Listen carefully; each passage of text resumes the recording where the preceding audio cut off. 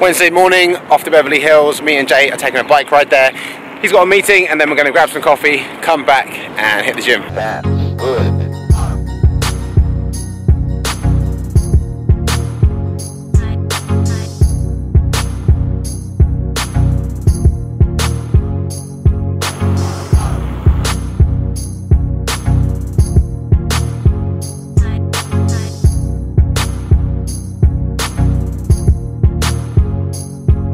2 p.m. We're heading back from Beverly Hills. I've just spotted a taco truck and I'm going to break. Where is it? There it is. I'm to break my fast and get two tacos. Let's do it.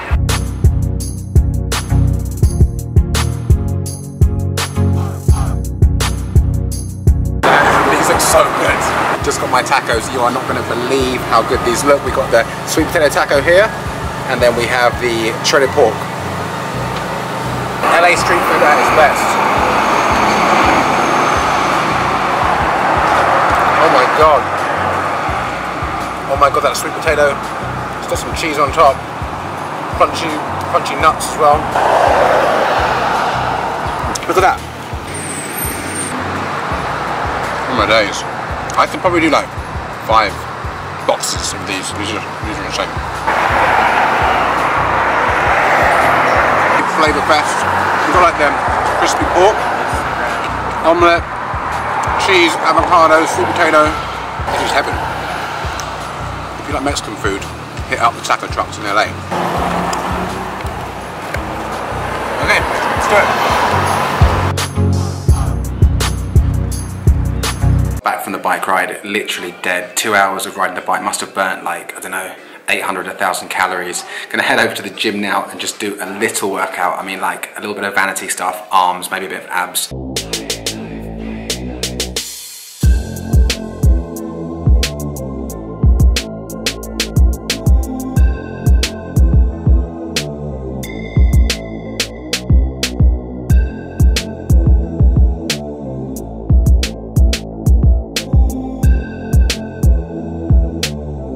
Workout's done, heading back to the gaff, gonna make my chocolate protein oats and then get back to work. Post-workout refuel, got my chocolate oats, banana, cinnamon and a little bit of syrup.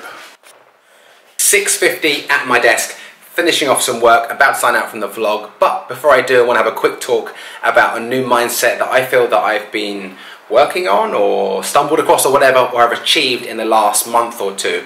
And it's basically like a newfound freedom to me, and it involves two main things. Number one, not caring about what other people think and truly not caring about what other people think because it's quite trendy, isn't it, these days to say like zero fucks given, I don't care about this, I don't care about that. But those kind of same people are posting on Instagram or Facebook or whatever and then checking back every five minutes. I've even heard people saying like if they don't get a certain amount of likes within an hour, they're going to delete the photo. That's not zero fucks, that's wanting validation from an external source. And you know, I've been guilty of that too. When I first started putting out content online and vlogging and doing social media for my business, I really cared what people thought and I really checked back to see what was going on. And in the last few months or six months, I really, really, really fucking don't care.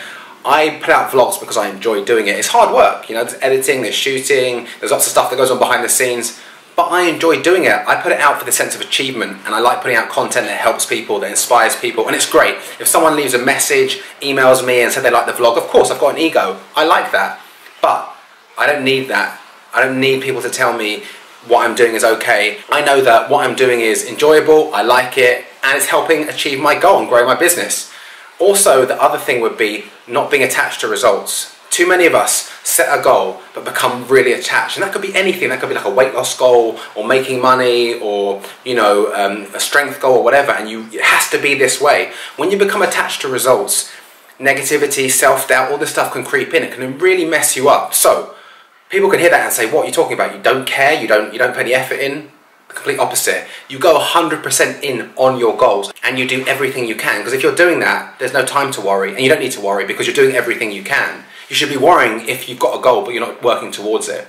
So, by letting go of outcomes and just focusing on good work ethic, putting in the work towards your goal, there's so much freedom there. And also, really giving zero fucks about what other people think is going to free you so, so much. Put, you can put content out, you can dress how you want, you can say what you want. As long as you know that you're being a good person on the whole, you've got nothing to worry about. So that's my thoughts on freedom in life. Those two things have really, really helped me, and I hope you can apply them too. see how it goes. Okay, I'm gonna have dinner, finish off some work, and then have an early night. See you tomorrow.